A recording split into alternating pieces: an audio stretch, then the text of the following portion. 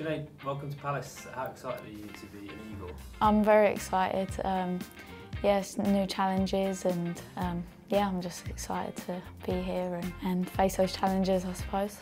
Yeah, did you have a big decision to make in the summer about the future? Um, yeah, I did. Um, I think it was quite hard to leave my old team and, and so yeah it was a, it was a big decision but I felt like it was the right decision. It was a very good season um, and I think the, the team worked well together to achieve what we did. What do you think it's going to take to, to get out of the championship this year for Palace?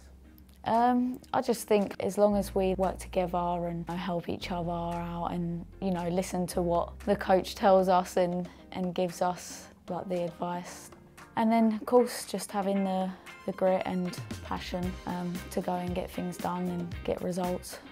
And you went, uh, you travelled over to America, didn't you, for quite a while? What was that experience like? Yeah, um, I went to America for five and a half years, I think it was.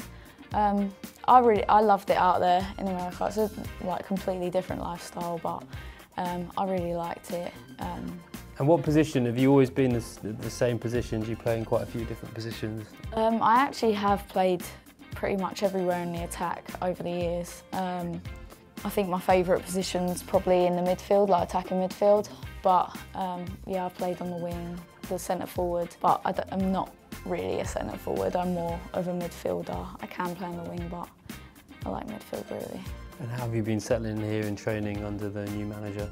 Good. I actually really like um, the new manager. I think she gets on well with everyone, to be honest, and, and she has very good ideas. And I just think she she's very good with knowing how we're going to be able to apply the information that she wants us to take on board, um, which I think is really, really good. But yeah, I've, I've definitely been happy with what I've seen and, and how training's gone.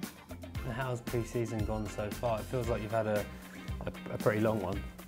Yeah, um, well, to be honest, mine hasn't been too big, but too long.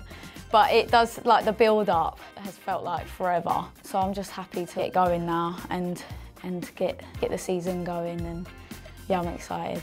It does feel like a long way, even though my technically my pre-season with the team hasn't been long. It does feel like it's been a long time since we played like um, in like normal games. So. Have you been enjoying watching the World Cup?